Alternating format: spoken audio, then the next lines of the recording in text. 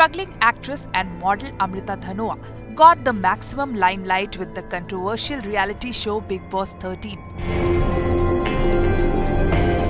Show का हिस्सा नहीं होने के बाद भी अमृता इस सीज़न के एक्स कंटेस्टेंट अरहान खान पर कई सनसनीखेज आरोप लगाने की वजह से लगातार चर्चा में रही और अब अमृता एक बार फिर से खबरों में है, लेकिन इस बार अरहान को लेकर नहीं।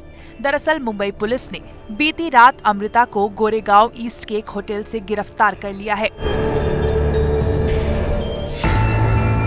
अमृता के अलावा एक और स्ट्रगलिंग एक्ट्रेस रिचा सिंह को भी अरेस्ट किया गया है। पुलिस ने होटल में ये रेड एक टिप मिलने के बाद डाली।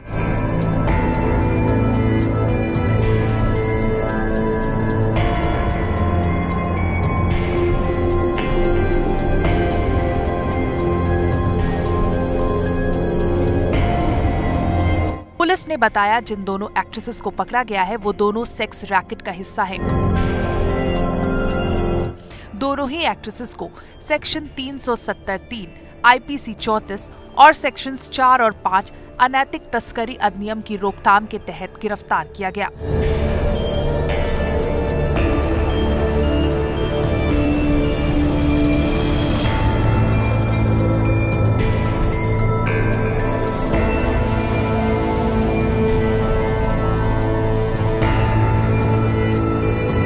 खबरों की माने तो जब अमृता को रेड के बारे में पता चला तो उन्होंने भागने की कोशिश की, लेकिन पुलिस ने समय रहते ही उन्हें पकड़ लिया।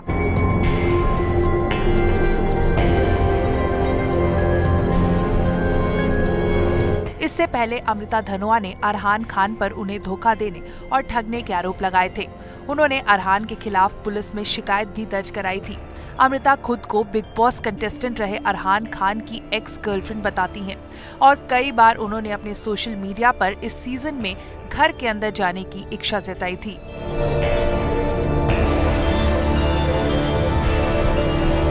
अमृता ने कहा था कि वो शो में जाकर अरहान को सबके सामने एक्सपोज करना चाहती हैं और रश्मि को उनकी सच्चाई बताना चाहती हैं, ताकि वो अरहान के साथ अपना रिश्ता खत्म कर दें।